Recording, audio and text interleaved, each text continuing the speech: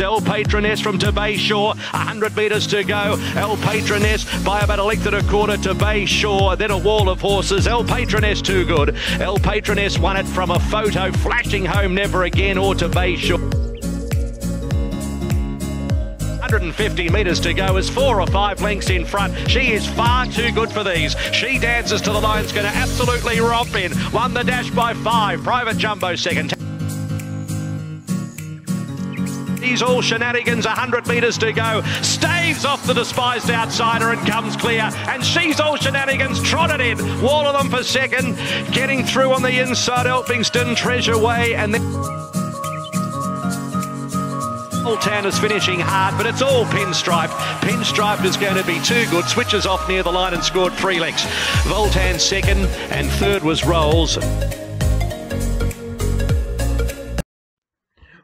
Welcome back to the channel, everybody, for the preview for listed Mornington Cup Day. Quite keen on a few on this card, and of course, a couple of at value that I like as well.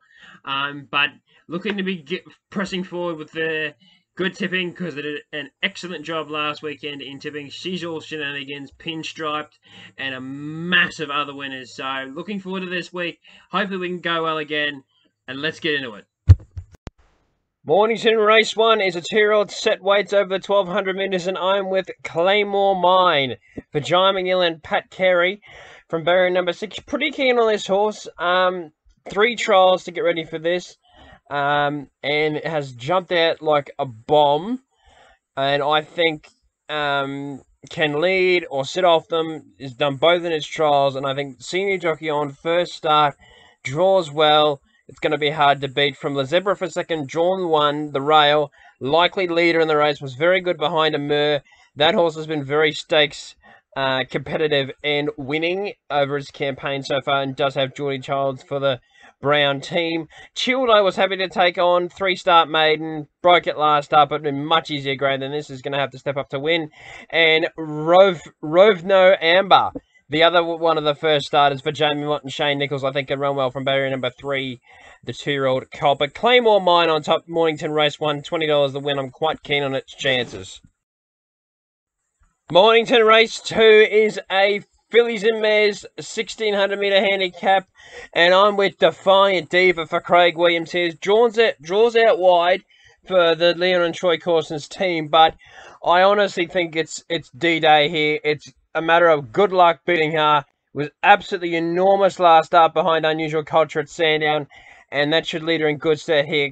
Got to carry the weight, but should be winning. From Warm Smile for second, fourth up, can it show something near its best? Uh, Six dollars is a good price to find out. Flash Mary hit the line hard last start. Sheridan Clark sticks for Cindy Alderson and Soaring Eagle back to the 1600 metres could see it run a race, but De- Defiant Diva on top Mornington race two. Quite keen on its chances. I think will be winning 30 the win. Mornington race number three is a benchmark 70 handicap over the 1000 metres, and my best bet at Mornington comes up here, and it could be, well, the best bet of the weekend. Ranvia, number three here for Matt Laurie, Mickey D aboard with the 60 and a half from barrier number four. I think it'll take a heap of beating here. Has been gelded returning to the races.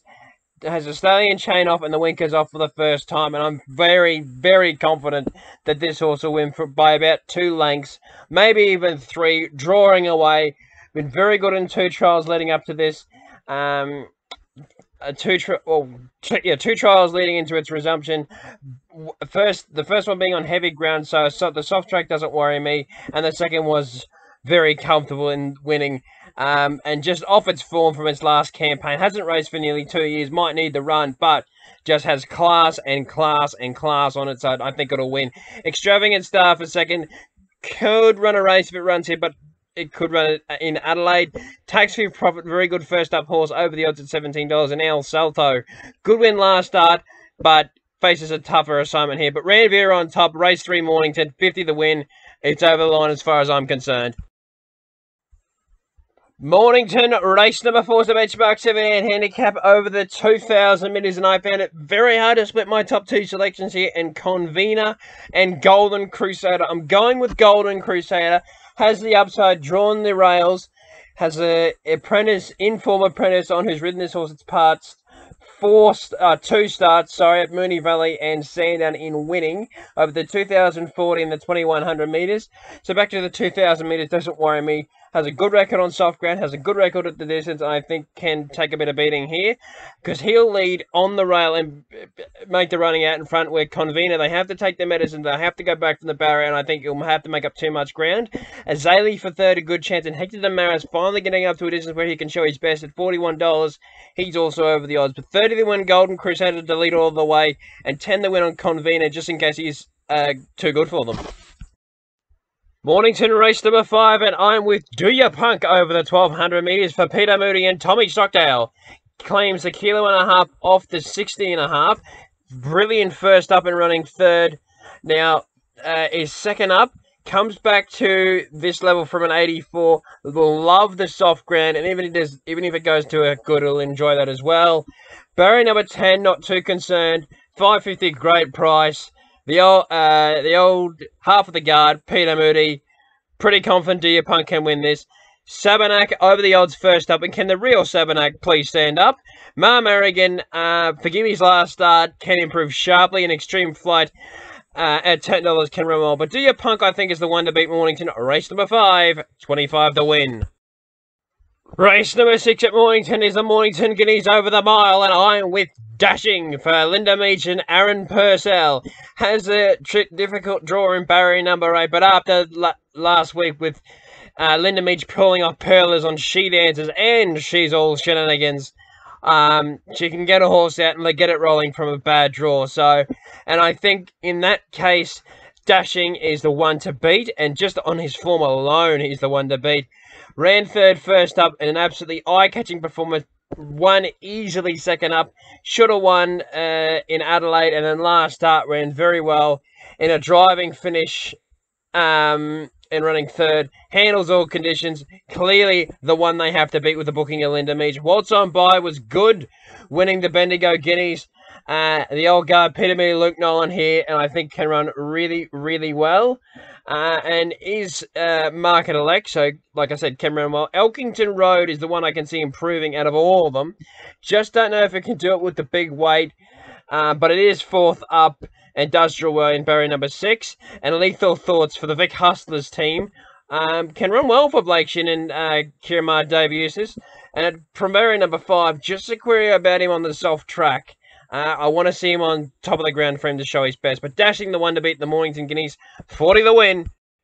Race number seven at Mornington is the listed Hareeba Stakes over 1200 metres, and I'm with Jigsaw, the one to beat and quite clearly on top. Barrier 9, I can see them sending him straight to the front, the only leader in this race.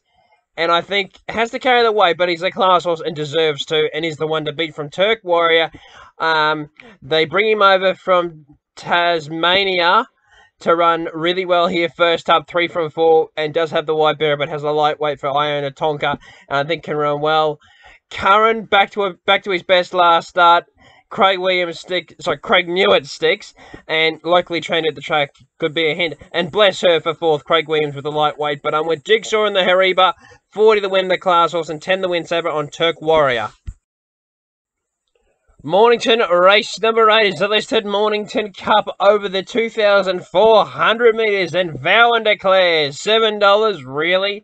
Johnny Allen aboard for Johnny O'Brien. Barrier number eight comes into the best form reference you're going to find in this race. The Group 1 Tancred Stakes uh, only beaten a length behind behind Montefilia and King Frank on on the good track over the 2400 meters. The 2400 meter proven horse in this race. Got to carry the weight, but deserves to, and I think is the one to beat. Right You Are has just been winning everything this campaign. Probably the heavy track in the Easter Cup found him out, but I still think he ran really, really well. For barrier number 10, considered prominently non-conformist, needs a, the, a dry track to run well and gear up. Now this is his time to show his best, and I think he can do so with John, Jamie Mott in the setup. But Vow and Declare, the one to beat in the listed Mornington Cup, 30 the win.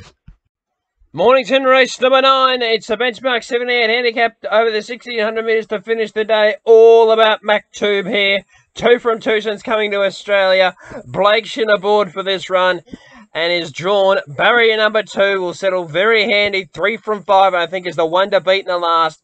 and just is like uh. I think he's the one to beat, clear one to beat, and should be winning it. Maracana for second. Danny O'Brien for Celine Gaudray has the lightest weight it's ever carried in its career and has a good, well, and this is the weakest race car- uh, in its career, but does have the wide barrier.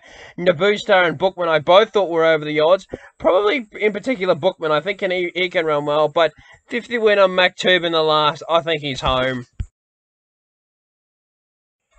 Thank you for watching my preview for Mornington Cup Day. Hope you've enjoyed it. And I'll see you next weekend. And of course, hope you back a winner. And I hope I've found a winner for you. Thank you.